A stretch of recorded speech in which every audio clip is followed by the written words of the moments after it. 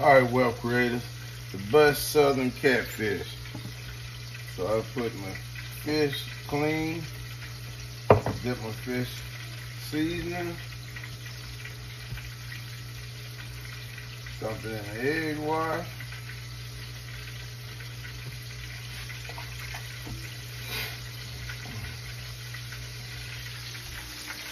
And then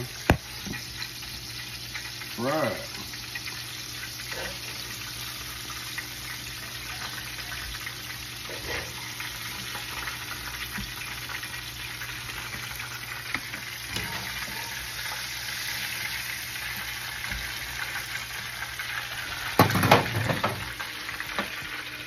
As you come out the seasoning.